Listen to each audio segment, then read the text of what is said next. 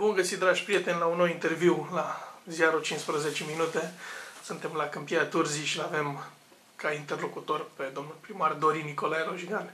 Bună ziua, domnule Lojigan, ce mai faceți? Bună ziua, bine ați venit la noi. Bine v-am găsit. Ce scuze pentru început, pentru întârziere, însă tocmai vin de la o ședință în care am pus în discuție planul de mobilitate urbană și acum vă este probabil cunoscut în acest moment, la nivelul primăriei municipiului Câmpia Turzii, vorbim despre se realizează planul de mobilitate urbană. Am și apelat de altfel prin intermediul dumneavoastră la cetățenii orașului care vor să se implice în realizarea acestui plan, la firmele din oraș, la unitățile subordonate Consiliului Local care trebuie să se implice în acest plan, plan care va putea da uh, posibilitatea administrației publice locale, după aprobarea lui în Consiliul Local, la accesarea de fonduri europene de valori extrem de, extrem de mari și care pot aduce îmbunătățiri fantastice la ceea ce înseamnă drumuri, alei,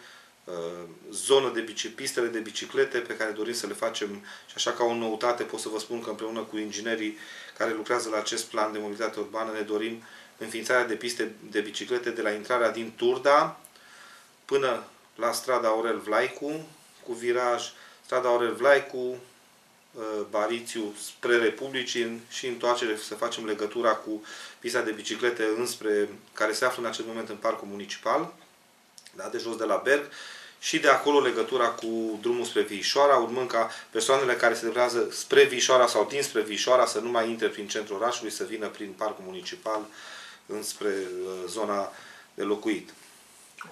De asemenea, proiectele despre care vorbeam cu echipa de, de implementare a planului de mobilitate urbană, proiectele propuse de către specialiști sunt, uh, ziceam mai devreme, de niște valori fantazice, de, de o asemenea manieră încât uh, le-am spus acestor specialiști că mă fac deja să visez.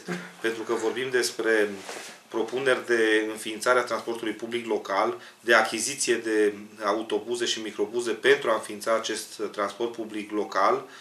De, le povesteam despre dorința mea de a, de a înființa, nu știu dacă pot să-l numesc așa, dar raportându-mă la Cluj-Napoca, inelul sau primul inel al municipiului Câmpia Turzii, inel care să uh, meargă până la Grigoreș, pe partea spre Luna Luncan Grigoreș și în cealaltă parte până spre Frata, ca compania de transport uh, public local. public local pe care ne dorim ca urmare a aprobării acestui plan să o înființăm, să deservească și toate comunele și tot ceea ce înseamnă zona aferentă municipiului Câmpia uh, Turzii.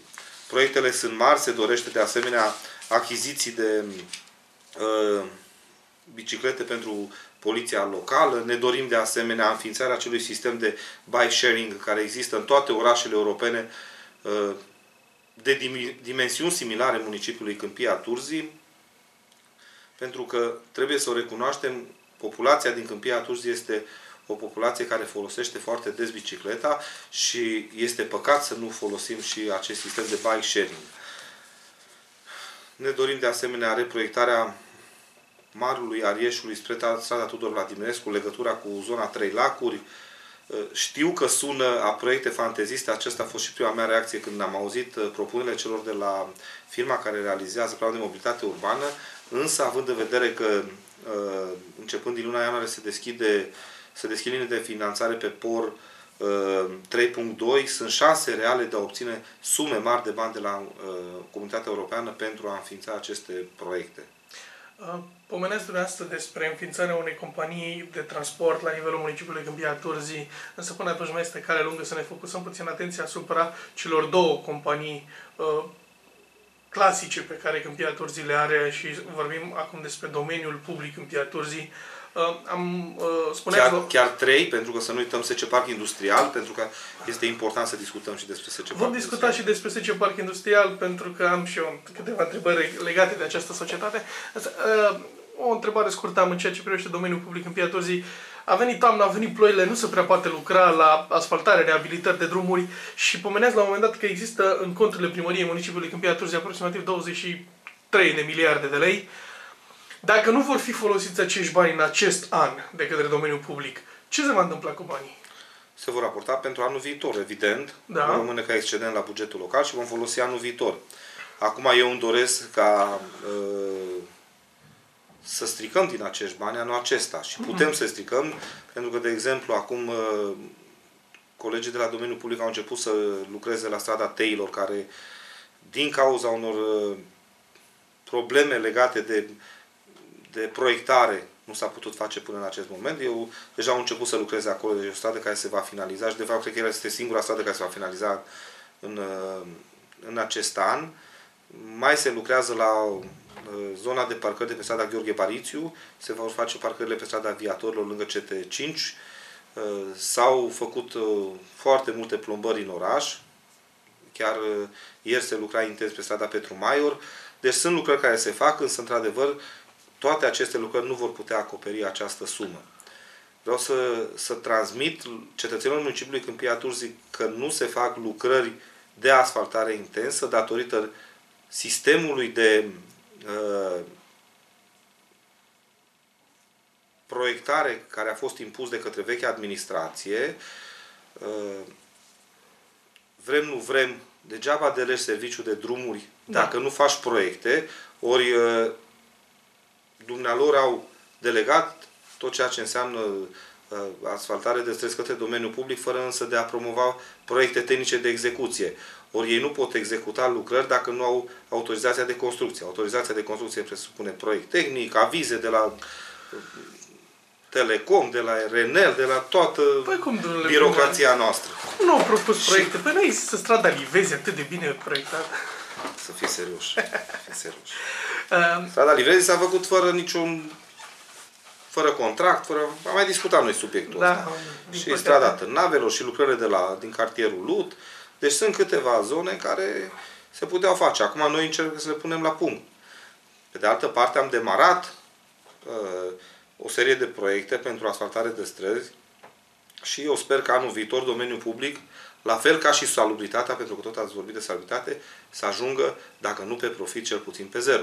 Spuneți ceva despre salubritate, că a intrat pe profit cumva? Compania de salubritate a încheiat uh, luna trecută pe profit. Nu mult, dar este pe plus, nu este pe minus. Este, deci asta este efectul a trei luni de zile de administrație nouă. De altfel de gândire la nivelul conducerii societăților comerciale din, din Câmpia Asta înseamnă că nu se mai pune nici măcar teoretic problema uh, fuziunii. Nici vorba. Știți că eu n-am fost niciodată de acord uh, cu o astfel de fuziune. Am reușit să scoatem compania de salubritate din gaura în care a fost lăsată. Mai mult de atât, am un proiect foarte mare pentru compania de salubritate. Sper să se concretizeze în maxim o lună de zile și dacă se va concretiza, o să vă dau o veste foarte bună dumneavoastră și domnului director de la compania de salubritate. Ați înțeles, dragi prieteni, peste o lună vom veni din nou la Câmpia Turzii ca să aflăm vestea cea bună. Vă aștept. Poate Bun. și mai devreme. Spuneați ceva de parcul industrial Câmpia Turzii. Ce se întâmplă acolo? Că am înțeles că va fi o licitație cât de curând și oare o să vină păi, investitori? Oare... Păi ce nu s-a întâmplat în 2 ani de zile, noi am reușit să facem în două luni. În sensul că am avut prima uh, licitație pentru primă parcelă, sau nu, am avut o licitație, da. pentru că licitații au fost nenumărate până la, până la preluarea uh, mandatului de către mine. Știu că sună laudă, dar asta este realitatea și iată că după nici două luni de zile a fost și adjudecată prima parcelă de teren, o parcelă de 2 hectare, unei firme din Timișoara cu capital german. Așa. Așa. Ce produce Săptămâna vi- uh, confecții metalice zincate. Uh-huh. Săptămâna viitoare, în 18, și vă spun asta în premieră, se va semna contractul uh, pentru această parcelă de teren. Uh, firma care a judecat va, va face o investiție de aproximativ 4 milioane de euro. O cifră impresionantă. O cifră impresionantă pentru Câmpia Turzii. De asemenea, tot data, săptămâna viitoare, în 18, avem cea de-a doua licitație organizată de către administrația Lojigan și chiar astăzi am vorbit cu domnul director Matei de acolo și mi-a spus că deja există uh, o firmă care și-a depus, uh, avem scoase două parcele de teren și pentru una dintre ele deja există o firmă care și-a depus uh, actele pentru licitație. Astfel că eu zic că săptămâna viitoare, în 18, vom semna o prim, contractul pentru o primă parcelă și probabil vom adjudeca dacă sunt îndeplinite condițiile legale și, ce, și cel puțin încă o parcelă. Asta înseamnă că și cea de-a treia societate a Consiliului Local Câmpia Turzii va intra uh, pe profit. Fără discuție, fără discuție, da. După doi ani în care s-a dus așa tăriși, grăpiși și nu s-au, decât s-au chinuit să... Interesant. Doi ani în care n-au făcut nimic. Dar care credeți că este motivul pentru care vreme de 2 ani s-a bătut pasul pe loc și nimeni nu a venit la licitații, nimeni nu, nu nimeni nu a vrut să, in- să investească în câmpiatorile? Eu zic că este vorba despre o schimbare de mentalitate. La Și ce să vă nivel? spun de pe ce la nivelul conducerii. Am și să vă înțeles. spun și de ce. Pentru că a venit la mine, poate vă aduceți aminte, în 2013 uh, se bătea mare monedă pe firma Jolidon care va, Da. Va face o, o fabricuță în cadrul liceului industrial. Da.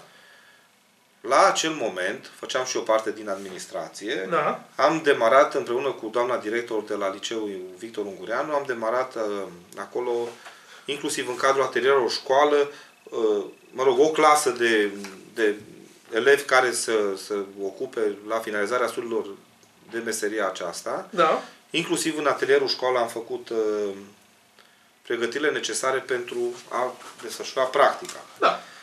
Brusc, în martie 2014, după ce s-a judecat, s-a liniștit Mhm. și s-a rupt orice legătură dintre administrație și societatea Jolidon. respectivă. În urmă cu vreo două săptămâni de zile a fost la mine directorul de la Jolidon, care a venit și mi-a spus că a auzit că s-a schimbat primarul și că este deschidere către investitori la Câmpia Turzii și dorește să rea proiectul. Mhm. Asta cred eu că, sau acesta cred eu că este motivul pentru care uh, uh, vin investitorii la Câmpia Turzii. Pentru că administrația este deschisă spre ei și pentru că toată lumea în campania electorală și Dorin Lojigan și ceilalți oameni au declarat că vor face locuri de muncă. Mhm. Noi nu doar nu le-am promis, le facem. Bun, să rămânem în sectorul cu locuri de muncă și să discutăm puțin despre parcul industrial Tetarom 5 care se va face Da. tot. Înainte de a discuta despre Spuneți. Tetaron 5, vreau să vă spun că dacă în urmă cu 3 săptămâni am fost la, invitat la MMM Autoparts, unde au mai, și-au mai făcut o hală, Da. da dublându-și numărul de, de angajați, este drept că această societate este pe uh, teritoriul administrativ al, Al Turzii. uh, al municipiului Turda, cu toate acestea mulți angajați de acolo sunt din Câmpia Turzii. Da. Am participat la, la această deschidere oficială. Trecută am participat la uh, pornirea lucrărilor la cea de-a doua hală pe care Cic Auto o face în Câmpia Turzii. Iată că Cic Auto au, au, și-au inaugurat prima uh, fabricuță în 2015, dacă bine mi-aduc eu aminte, cred că în 2015, 2015 da. Da. da, în 2015, nu, în primăvara lui 2016, pentru că atunci a fost împreună cu domnul primar Hanga la, la inaugurare și acum, iată că își dublează capacitatea de producție după mai puțin de jumătate de an. Incredibil, numai vești Da. bune aveți, domnule primare. Da. Mă, Dacă să ne referim la Parcul Tetarom 5, Da? Uh, am anunțat și pe rețele de socializare și uh, am dat și în presă faptul că am fost împreună cu reprezentanții de la Tetarom la Luna pentru a verifica acel teren. Cei de la Primăria Comunei Luna au depus deja actele pentru întabularea terenului la ANCPI, iar mâine uh, o echipă de la Agenția Națională pentru Investiții Străine va veni la Câmpia Turzii pentru a ne deplasa împreună la, în Comuna Luna și a vedea și ei terenul. Asta înseamnă că firme străine sunt interesate să investească în această zonă. Asta înseamnă că peste, dacă Dumnezeu ne ajută peste un an și un an și un pic, va fi aici o puzderie de firme și de locuri de muncă. Da? Uh, Singura mea problemă este dacă vom găsi muncitori pentru aceste firme și sper să, să și găsim pentru că cei care merg în acest moment la Jucu, la, nu știu, la Fujicura, la Bosch, în Cluj, să prefere să lucreze în, la firmele care își vor deschide fie în parcul industrial uh, de la Luna, fie în parcul industrial de la Câmpia Turzii. Pot de asemenea să vă spun că săptămâna viitoare voi semna uh, cu puțin noroc aici, într-adevăr, contractul pentru cele 4 hectare de teren pe care le-am luat de la 6 hectare de teren pe care le luăm de la uh, Mecel, Câmpia Turzii, Așa. pentru că și acolo a fost o sincopă, dar eu zic că am reușit să o rezolvăm și în viitoare vom semna contractul. Da. Pot să vă mai spun că ieri a fost la mine reprezentanța ai firmei Leoni din Luduș, Mhm. care ne-au solicitat ajutorul pentru găsirea de persoane care să lucreze în fabrica lor din Luduș, urmând să-și extindă traseele de microbuze spre Câmpia Turzii. Și acum fetele împreună cu reprezentanții lor discută pentru a s- organiza un, hai să nu zicem, târg al joburilor de a, a, Al un locurilor târg de al muncă. locurilor de muncă. O întâlnire cu reprezentanții firmei Leoni care vor să-și prezinte societatea și beneficiile financiare pentru cetățeni pentru a angaja oameni din Câmpia Turzii. E totuși Deci- mai bine să mergi la Luduș. La... Decât, și eu zic, pentru că vorbim de 15 km, decât Da. să mergi la uh, Apahida sau să mergi la Jucu sau mai știu eu pe unde.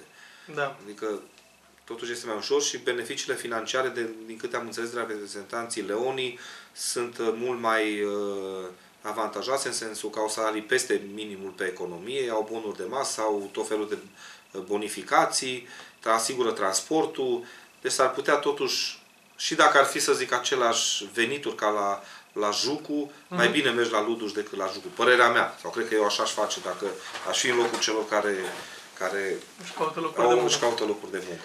Deci iată că încet, încet problema locurilor de muncă, cel puțin anul viitor, cum am zis, peste un an de zile, cred că Câmpia Turzii va fi rezolvată. Nu fac nicio problemă sub aspectul ăsta. Uh, să schimbăm puțin uh, cadrul discuției. În urmă cu două săptămâni, dacă nu mă înșel, era cât pe ce să se producă o mare tragedie la Câmpia Târzii și 80 de oameni au rămas fără case după S-a, incendiu. s-a produs o mare tragedie la Câmpia Turzii. Da, în 2 octombrie. Nu au rămas fără viață, ci doar fără case. Adică, na.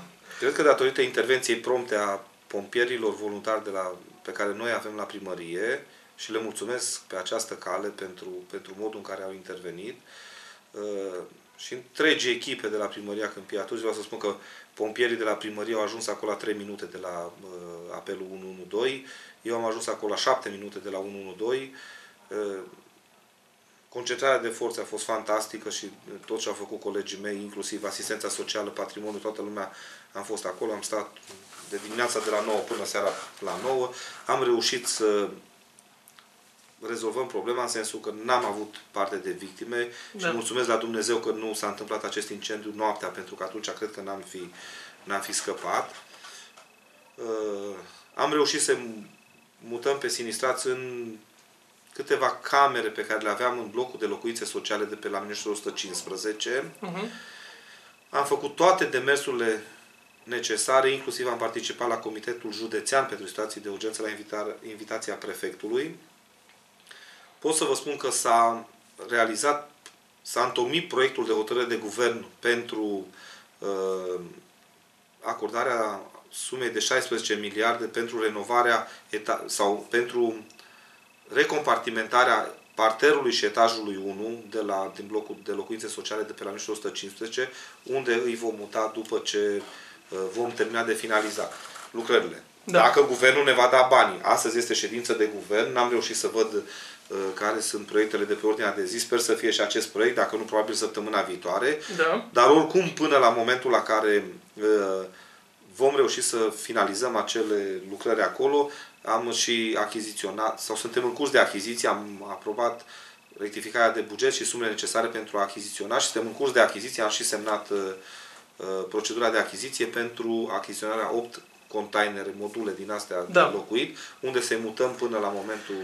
Am preferat varianta achiziției în locul celei de închiriat, pentru că oricum vom avea nevoie de ele la iarnă pentru oamenii străzii, pentru tot felul de cazuri de genul ăsta și plus de asta le putem închiria la rândul nostru când va fi cazul pentru, Doamne ferește, alte necazuri care vor apărea pe întreaga zonă aferentă municipiului Câmpia Turzii. Respectivi oameni care au rămas acum fără un loc uh, deasupra, fără un acoperiș deasupra capului, erau proprietari pe acele locuințe sau erau în locuințe sociale sau O care era singură situația lor? familie era proprietară pe o, lo- una dintre locuințe, restul proprietar era primăria municipiului Câmpia Turzii. Așa. Da? Și ei erau în chirie la noi acolo. Și acele locuințe erau asigurate? Nu, nu erau asigurate la momentul... Contractul a fost semnat, contractul de asigurare a fost semnat în joia sau vinerea dinaintea uh, incendiului de către, de către noi, Da. însă nu apucase să fie semnat și de către asigurator. Domnule Lojigan, ne-ați lămurit și cu situația asta cu, cu persoanele. Să sperăm să ținem pumnii strânși administrației de la Câmpia Turzii pe- pentru ședința de guvern de astăzi și pentru cele 16 miliarde care ar prinde tare bine. Vreau să vă spun că există deschidere și de la Consiliul Județean și domnul Alin Tișe mi-a promis că va vira și el niște bani pentru, pentru această situație. Doamne, dă să vină din două părți, că sunt bineveniți. Corect, întotdeauna e nevoie Așa de este. bani pentru, pentru cazurile sociale. Uh, Aș dori să mai abordăm un subiect. Um, La începutul lunii septembrie ați avut o întâlnire cu medicii, sau la sfârșitul lui august, în perioada aia ați, ați avut o întâlnire cu medicii din Policlinica din Câmpia Turzii. Uh, Care este situația? Cum, cum vedeți rezolvarea problemelor din Policlinică și ce se va întâmpla în viitorul imediat următor? În luna septembrie a fost Exact. exact. acea întâlnire în care am fost extrem de revoltat de ceea ce a prezentat presa locală. Da? Și mă refer aici la cele băncuțe din, din fața cabinetelor și le spuneam medicilor de familie că eu ca avocat nu mi-aș fi permis niciodată să-mi primesc clienții pe asemenea bănci într-o sală de așteptare. Pentru că, de fapt, și meseria de avocat și cea de medic este relativ se desfășoară sub aceleași aspecte. Cu oameni care vin, care așteaptă, îi primești Da. la o consultație, fie ea medicală, fie juridică, e același lucru. Și era foarte revoltat atunci de ceea ce am găsit acolo și le-am cerut ca în termenul cel mai scurt să dispară acele băncuțe de acolo și le-am dat inclusiv site-uri de pe care pot să-și cumpere băncuțe care costau în jur de 2 milioane jumate, 3 milioane. Lucru pe care cred că ei îl pot face, având în vedere că încasează în jur de 100 de milioane pe lună. Da? Să faci o investiție de asta care te ține 2 ani de zile și care te costă 4 milioane, 3 milioane, nu cred că e un mare lucru și o pot face. Înțeles. Depinde doar de ei. Ce le-am promis eu atunci? Le-am promis că voi înființa asociația de proprietari, Da. pentru că și primăria are cotă parte din, uh, din uh, acea clădire. Da. Lumea trebuie să știe că, de fapt, medicii sunt proprietari pe acele uh, imobile care le-au cumpărat de la noi în 2008. Da. Da? Uh, eu nu pot să intervin acolo decât la o înțelegere cu ei. Da. Și atunci le-am explicat că dacă nu vor face aceste investiții minime, Da. Ce pot eu să le promit, și pot să o ia și cu titlul de amenințare, că nu mă interesează, Așa. faptul că pot, și legea îmi permite, codul fiscal îmi permite, să le stabilesc impozite de până la 500%. Da. Cred că nu sunt prea încântați de o astfel de perspectivă să-și plătească asemenea impozite și cred că vor colabora, pentru că uh, sunt intelectuali, sunt oameni cu care pot povesti și parte dintre ei sunt chiar uh, de bună credință.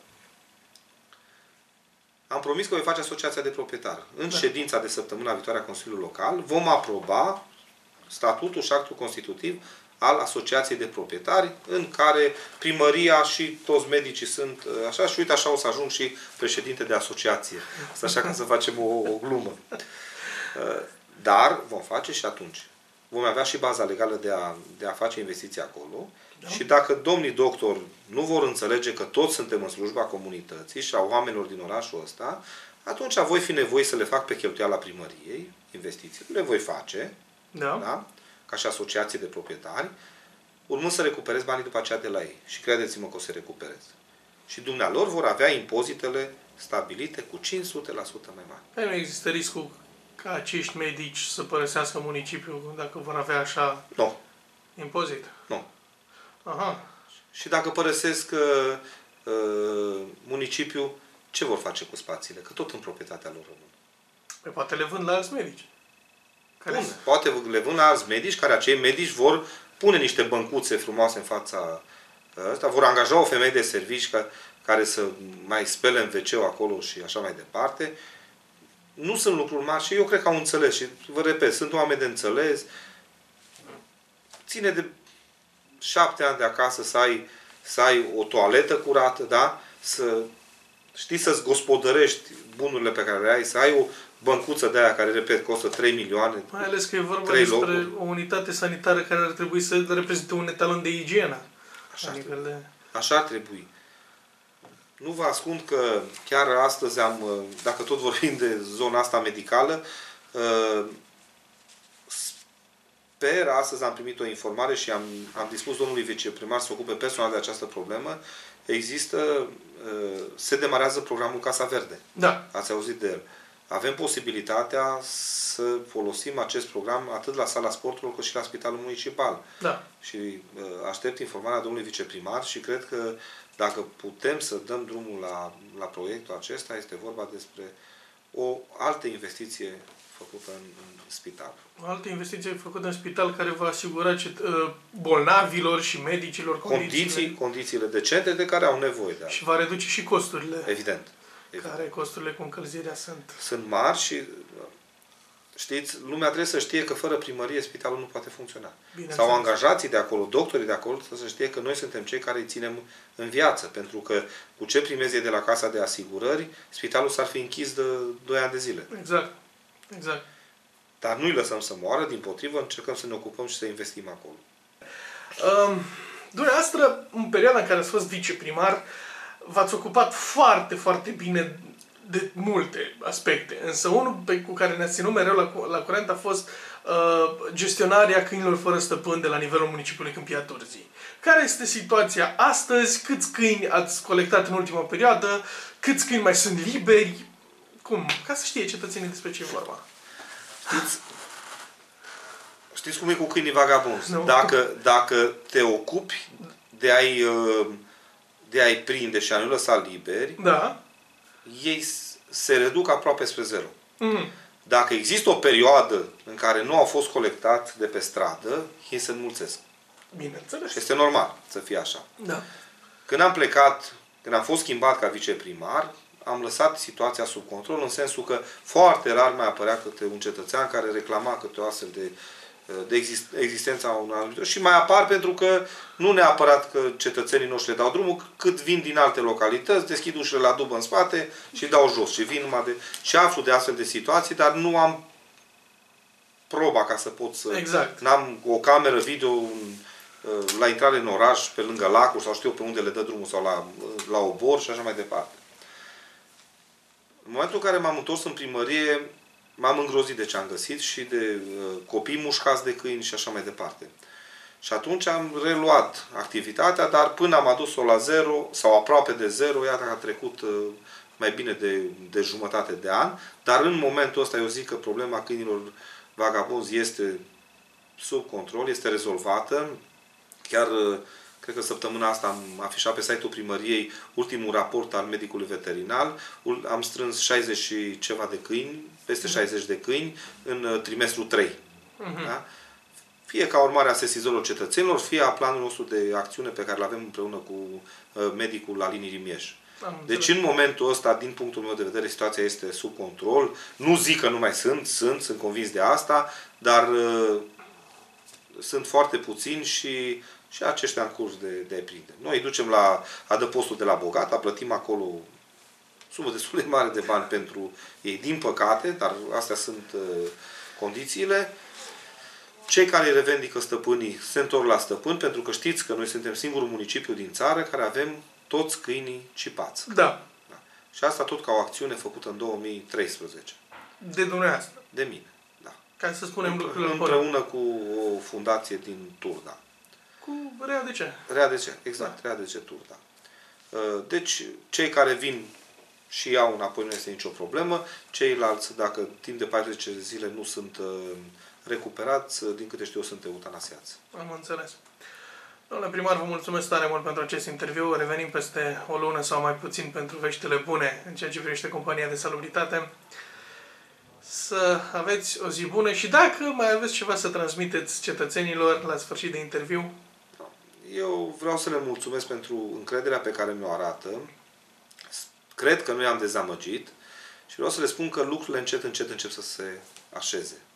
Și deja se vede o alt... Știți, mi-am dorit foarte mult o schimbare de mentalitate la nivelul uh, conducerii primăriei municipiului Câmpia Turzii și mă bucur să văd colegii sau subordonații din primărie că deja lucrează altfel. Nu mai sunt uh, terorizați cu ghilimele de rigoare așa cum erau înainte, se lucrează uh, cu drag și cu plăcere și fiecare își face treaba.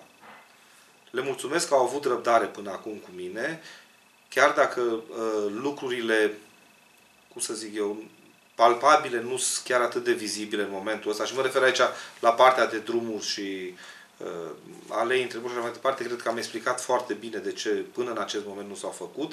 Din primăvară vom tura motoarele în forță și tot ce înseamnă drumuri rele în Câmpia Turzii, vă asigur că în cei trei ani și jumătate de mandat, cât mai am, vor dispărea. Domnule Lojigan, vă mulțumim.